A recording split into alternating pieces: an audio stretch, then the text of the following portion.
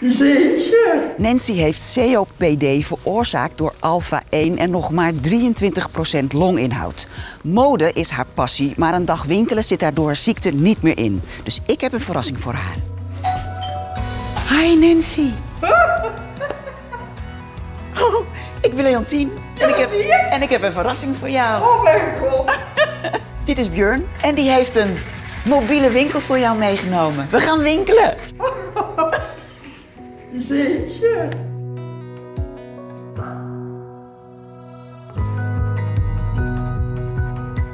Wat vind je ervan? Heel erg leuk, heel erg leuk. Ook totaal niet wat ik normaal altijd draag. Dus juist daarom ook zo leuk. Geweldig. Nou, het staat je echt heel gaaf. Dankjewel.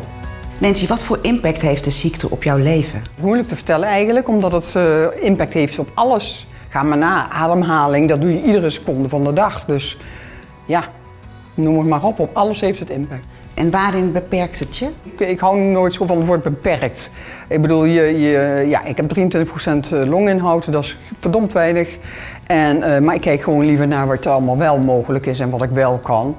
En eh, ja, dat is nog best veel. Nou is mode echt jouw passie. Je hebt ook een blog, Nancy's Fashion Style. Ja. Is dat echt iets wat jou op de been houdt? Toen ik eindelijk geaccepteerd had dat ik niet meer kon werken en je moet werken aan een nieuwe invulling in je leven, was dat gewoon de uitkomst. En daar ben ik iedere dag gepassioneerd mee bezig en vind ik heerlijk.